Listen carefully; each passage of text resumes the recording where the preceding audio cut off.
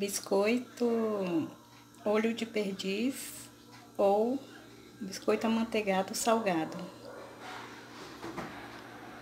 Eu vou usar duas gemas peneiradas, um quilo de farinha de trigo, um pacote, o queijo ralado só para polvilhar depois de assado, e o sal, quantidade que desejar, e meio quilo de margarina ou manteiga. Essa massa, você vai juntar todos os ingredientes e amassar. Essa massa é a mesma massa da empada e do biscoito amanteigado. A única diferença é que no biscoito amanteigado você vai colocar o açúcar e na empada você vai colocar o queijo ralado dentro da massa.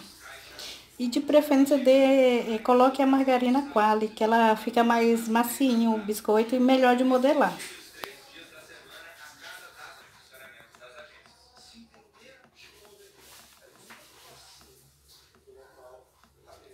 Aí você pega um pouquinho da massa, faz tipo uma bolinha. Dá um pouquinho de trabalho, mas ele fica uma delícia esse biscoito.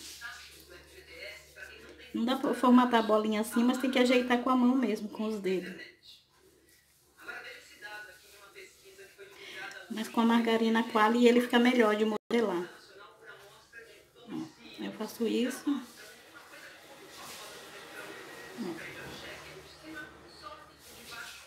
Faz uma maçãzinha assim para poder colocar no final a azeitona, um pedacinho de azeitona.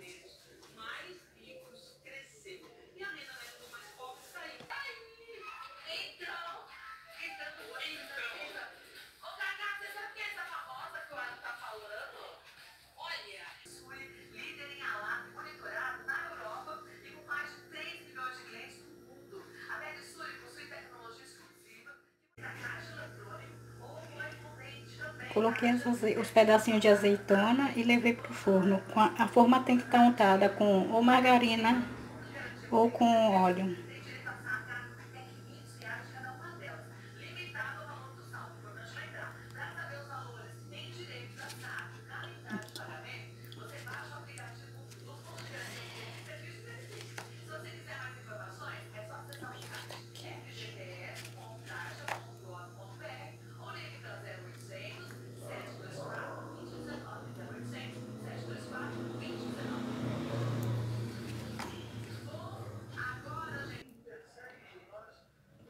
Pode colocar esses biscoitos no, na forminha de papel,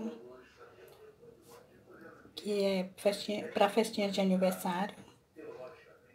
Se você gostou da receita, você se inscreva no canal, dê um like e ative o sininho.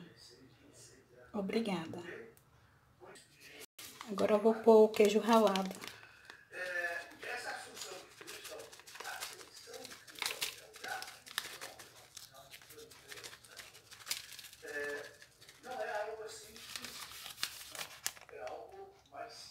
Tchau, até o próximo vídeo.